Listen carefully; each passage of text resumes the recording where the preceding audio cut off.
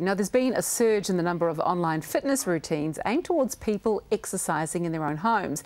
Now, it may seem safe and easy, but there are a few pitfalls to be aware of. Here to help prevent any injuries, personal trainer Lorraine Scapens. Good morning. Hi, Mel. Lovely to have you back in the Thank studio. You. Now, first up, why the sudden rise in the number of, uh, of these internet exercise experts? I think people are just seeing it's a very easy and quick way to make money online.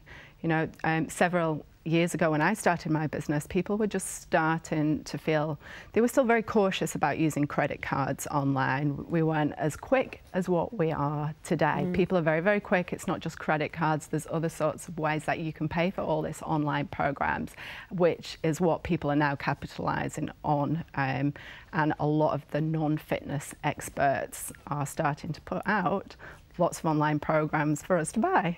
Right, so the non-experts, as you mentioned, are yep. putting out the programs. Okay, so what are the risks? Well, first and foremost, there's risks to yourself. You know, you would never ever, or I wouldn't personally, go to the gym and pay for somebody who is not qualified to no. take you through an exercise program.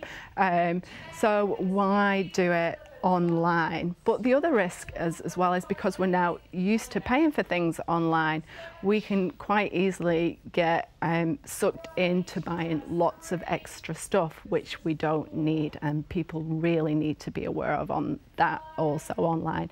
And when you go to a gym, you read through contracts or you're told about your contracts. Yeah. And this tends to be what's not happening also online. So people don't really understand that, oh, that $10 is actually $10 a week or $10 yeah. a month, and then they don't realise when they can stop it. So there is a lot of risks and pitfalls, well, it, yeah. which Let's be honest, well, none of us read the fine print, do no, we? no, we don't. Few of us do. Yeah, we should no. do, we don't.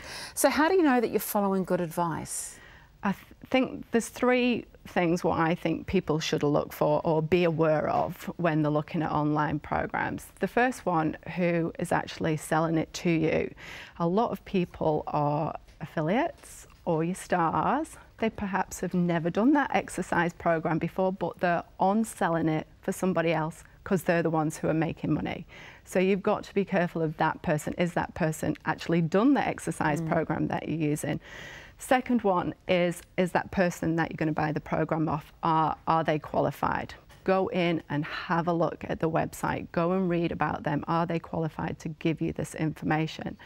And then um, so that the, they're the two main points really. And then the other one is if you've been referred to this website. Generally, if you've been referred to the website, there's testimonials on mm. there. You can feel safe that you're going to be exercising with somebody who knows what they're talking about. So the testimonials are going to be valid, that they won't be made up? Well, see, that, that is something else as well, which we do have to be careful about. Really, people, if you're buying online, take your time, go and look go and see through the social media. You know, you should be able to pick up whether they're trustworthy Google or them. not. You'll find out pretty Absolutely. quickly. Absolutely. Have a look if they're commenting on other people's posts. Um, is that person um, adequately qualified to be given that information as well? If they're not, do they refer to experts from that too? Okay. Is it better though to be outside anyway, rather than in front of the TV or in front of the laptop doing something? I think a little both, bit of both is actually quite good. And um, the reason why online programs are becoming so popular is pe because people just can't get to the gym anymore. Mm. It's it's really busy. You know, um, a lot of car parks are full. I know when I used to work at the gym, I used to have clients who would drive around for 20 minutes looking for a car, car park and go. Oh, you know, I'm over this, I can't do it. So that's why the online programs are also doing so well, is because they're easy. You can put them on when you've got the time and ready to. But I think it's good to do some online and some outside, outside as well. as well. So what is Always the right way the then to use those online fitness programs? You can use them by themselves if that's all what you want to do or you want to save on gym membership because they can be um, really good in terms of um, price, etc. So they can save you money, but also they can also be very good to work alongside your personal training program, any gym program because it adds variety. Mm. Yeah. And variety is the spice of life. It is, uh, yes. Yeah. And anything that gets you exercising really is a good thing, but just do your research and make sure that whatever you're buying is by That's a reputable right. person who knows their stuff. Yeah, absolutely. Mm, fantastic. Yeah. Always good to have you in for some Thank great you, advice. Mel. Thank you. And if you'd like to check out online fitness videos that you can trust, go to Lorraine's website, pregnancyexercise.co.nz.